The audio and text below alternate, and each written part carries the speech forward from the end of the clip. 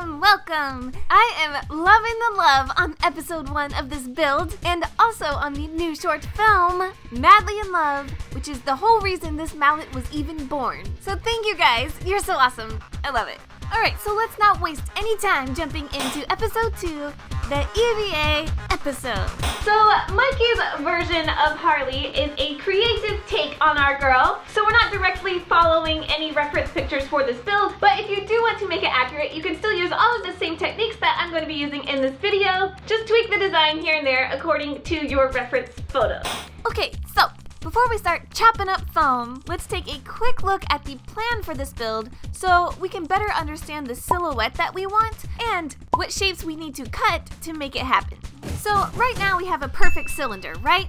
Hmm, let's go a little more 2D for this explanation. Perfect. So here's our base. Now let's say we cover it all in foam. Just doing this would work for the mallet, no doubt, but it does not have that curve that I like. How can we get it? Well, we just make all of our foam pieces a little bit bigger. Let's make the wooden boards a little bit longer than the length of the base. That way, when you beef up the end caps, the overlapping boards will be forced outward, creating the bow. By just attaching the boards to the base in the middle and the higher up end caps, boom, we've got our silhouette. Now we just need to cut out two end caps, one for each end, and approximately six boards, give or take, depending on how wide you cut them. Supplies for this episode include EVA foam, of course. I used four 24 inch squares and had a little bit left over after. A sharp blade. I use a combo of a box cutter and an X-Acto knife, depending on what my cutting needs are at the moment. A rotary tool, we'll get more into that later. And a straight edge. Contrary to how it may look in episode 1, I'm not really an exact measurement kind of girl. Instead, I kind of just plop the base down on the foam, make some marks, and cut it up. I eyeball the shape and size of things like 90% of the time, which sometimes gets me in trouble. So by all means, feel free to do the math and figure out exactly how wide these should be to cover the surface of your mallets. Or you can just be like me and stack them up around the base and go, eh, that looks close enough. EVA foam is very, very dense. So actually cutting it is kind of a thing on its own. It can be tricky. My biggest piece of advice for cutting EVA foam is to always use a fresh, sharp blade. It will make your life so much easier, even when intentionally going for messier looking cuts like we're doing right here. Again, the foam is dense, and sharp blades always cut using less force than it takes dull blades to do the same job.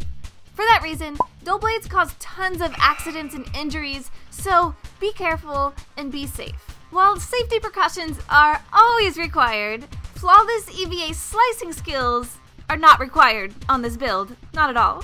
Fortunately, you don't want to make your cuts look super clean, so if you end up kind of hacking at pieces or having to saw at them to break them apart, or if your line goes a little bit crooked, it's not a big deal. Really doesn't matter at all. Actually, if your cuts were perfectly clean, it would only make more work for you in the end because you'd have to come back and rough them up so they don't look like EVA foam anymore. So don't be intimidated, you got this. Cool, so now all of our pieces are cut out. We should probably carve them up like wood, right? I mean, that's why we're all here. Get to the good stuff, Poletti. Alright, let's go. Starting on the ends of each piece, I cut out little slices all along the edge. Some long slices, some short slices, some wide, some thin, really just random AF. You don't want any two pieces to look exactly the same because we want this to look as natural and unmanufactured as possible. Easy first step. After that, I want to add in a texture that looks like crumbly, rotting wood. The way that I do this is by using my X-Acto knife to make a little cut into the foam, and then I just pull at it with my fingers. Picking at it lets the foam rip and crumble in a more natural kind of way that doesn't look too, like, intentionally cut.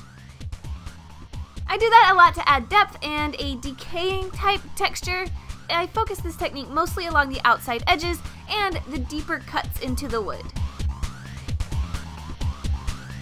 Next up, I score little lines into the foam with my X-Acto knife. These little lines will mimic wood grain texture, so do as many as you'd like to make your wood seem more or less realistic. To make them, just press the tip of the knife into the foam and drag to create the lines.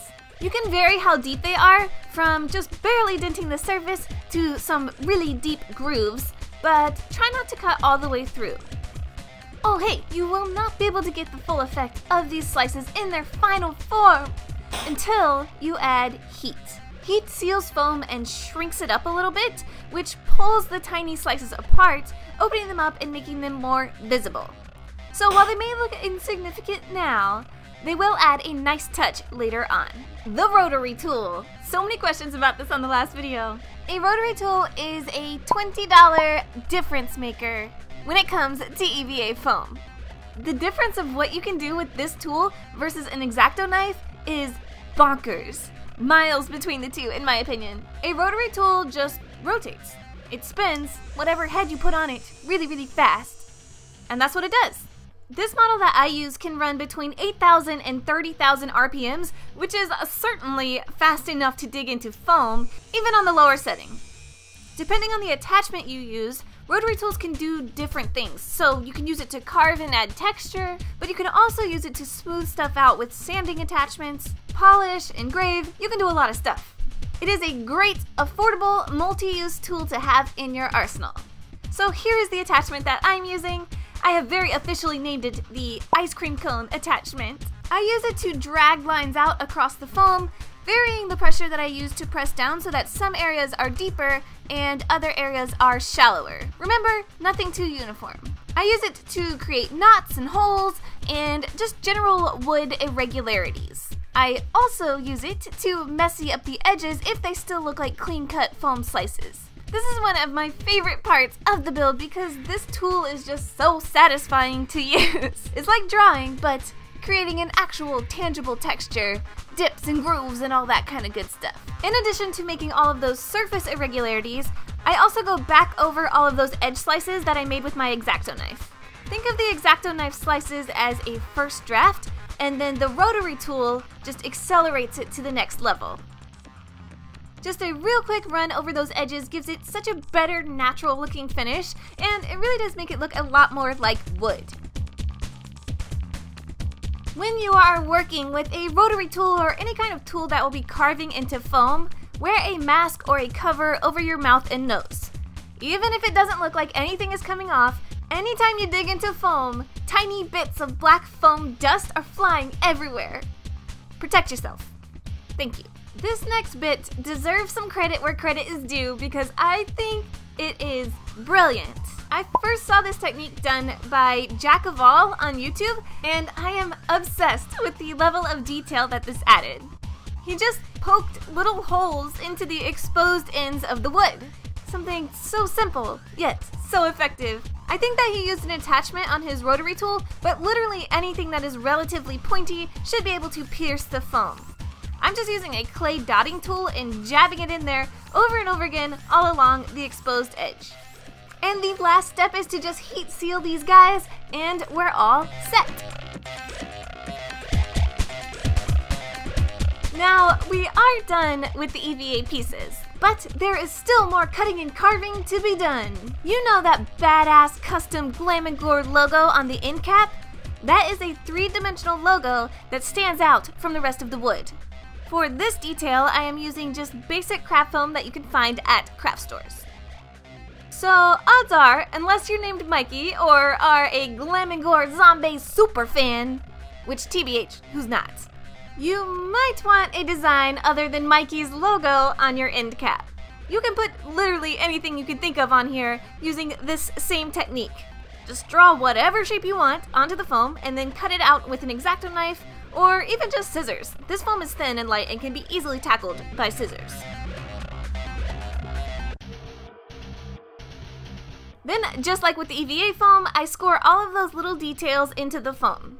Adding all of the little wrinkles into the hands and lips really take it from like 70% to like 10,000% awesome, especially when we get in there with paint in the next episode.